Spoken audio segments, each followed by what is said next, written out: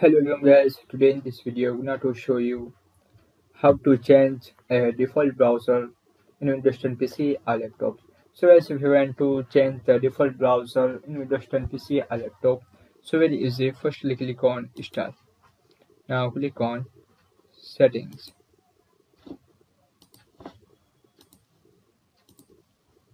After click on apps